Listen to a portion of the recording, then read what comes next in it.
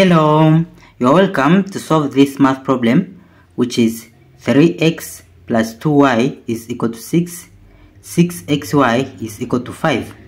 To find the values of x and y from these two systems of equation.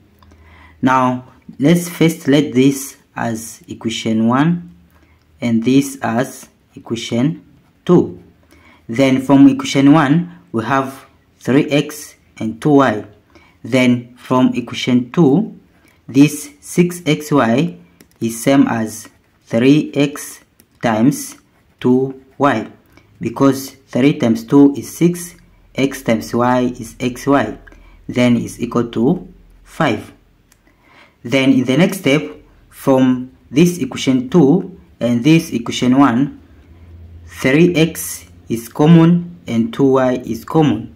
So we will let a is equal to 3x and b is equal to 2y. Then from equation 1, in here, it will be a plus b is equal to 6. So a plus b is equal to 6 and from this equation 2 it will be a times b is equal to 5 Then in the next step, from this equation 1, we'll take a into the right side. So it will be b is equal to 6 minus a. Then in here, b will substitute b will substitute 6 minus a. So it will be a, then bracket 6 minus a bracket is equal to this 5 then it will be a times 6 is 6a a times negative a is negative a square is equal to 5 then we take 5 into the left side. So we start with this it will be negative a square plus 6a then this one we take into the left side it will be minus 5 is equal to 0 then we multiply the whole equation by negative so negative and negative a square will be positive a square. Negative with positive 6a, it will be negative 6a. Negative with negative 5, it will be positive 5 is equal to 0. Then from this quadratic equation, it can be solved by grouping and factorization. So it will be a square, then minus 5a is same as minus a minus 5a then plus 5 is equal to 0 then from here a is common. So we'll take a out of bracket. A squared divided by a is a. Negative a divided by a is negative 1 bracket. And in here negative 5 is common. So we'll take out of bracket. Negative 5a divided by negative 5 it is a. 5 divided by negative 5 it is negative 1 bracket is equal to 0 then from here a minus 1 is common. So we take a minus 1 bracket out of bracket. This divided by this is a. Negative 5 bracket a minus 1 divided by this it is this. Negative 5 bracket is equal to 0 then from here we have two solutions whereas this is the first solution which is a minus 1 is equal to 0 and this second solution a minus 5 is equal to 0 then we take negative 1 into the right side so to be a is equal to 1 and here we take negative 5 to the right side it will be a is equal to 5 so we already get the values value of a in we have two values of a then in the next step from this step in here 3x times 2y is equal to 5 so from 3x times 2y is equal to 5 before we let that 3x is a in here a is equal to 3x so in here it will be a times 2y is equal to 5 then we substitute the value of a it is 1 so it will be 1 times 2y is equal to 5 then it will be the 1 times 2y is 2y is equal to 5 then we divide by 2 in both sides. So this and this will cancel.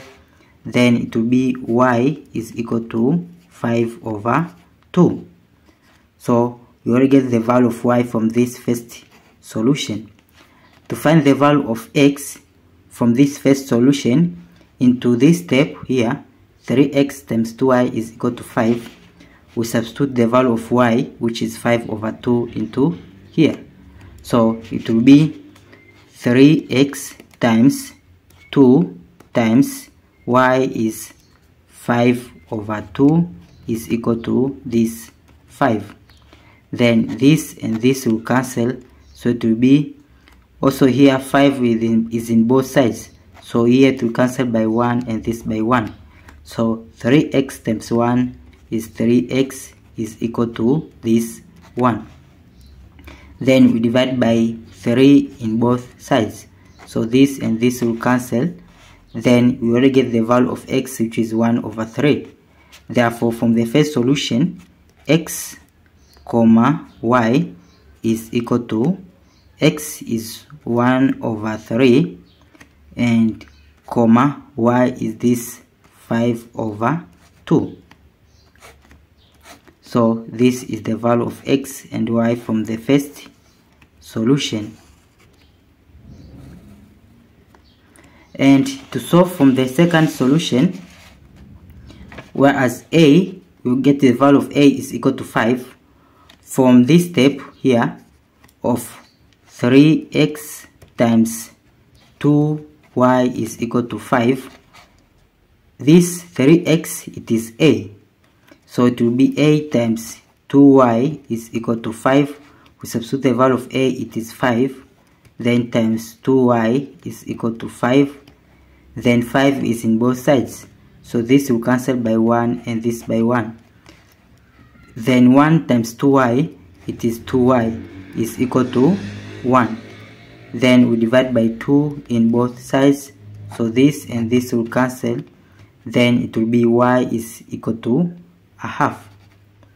Now to find the value of x from this step here we substitute the value of y it is a half. So it will be 3x then times 2 times y which is a half is equal to 5 then this will cancel by 1 by 1 so it will be 3x times 1 is 3x is equal to 5 then we divide by 3 in both sides. So this and this will cancel.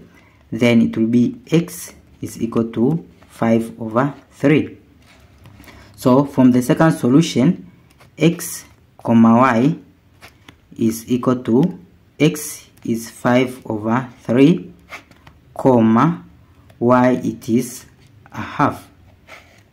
So this is the value of x and y from the second solution.